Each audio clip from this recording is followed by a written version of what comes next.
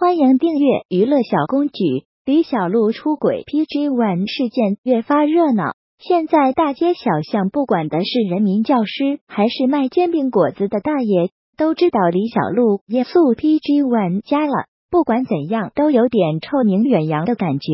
PG One 第一时间澄清，贾乃亮随后 PO 相信李小璐也自视清白，还拉上了好友马苏，真是中国好闺蜜啊！随后呢？随后李小璐就不见了，没有声音了，微博也不登录了。可是故事根本没有结束，被个媒体网友翻出大量证据来证明李小璐和 PG One 之间的恋情，像相同的蓝色、相同的帽子标志，隔空喊话：“我可能是鱼。”大家应该知道 PG One 王者荣耀的名字，就叫做我可能是鱼吧。也有网友指出，哈利露露就是李小璐。哈利露露的头像和微信头像一致，两人在游戏上就互动频频。这么多的证据，也不知道是不是巧合，只能说实在是太巧了。卓伟一句周三见，激发大家求知真相欲望。然而，当天李小璐出轨 PG One 事件并没有新消息，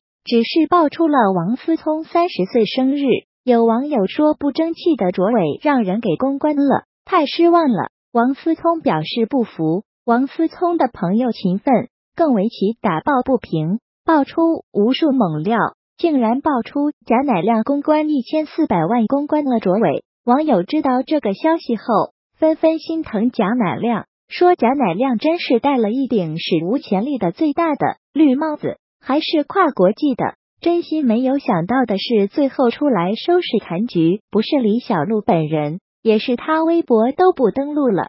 然而，也不是新欢 PG One，而是被绿的贾乃亮。这对贾乃亮来说，真的太残忍了。贾乃亮倒追李小璐一年，从婚前到婚后，都对李小璐始终如一，视为珍宝。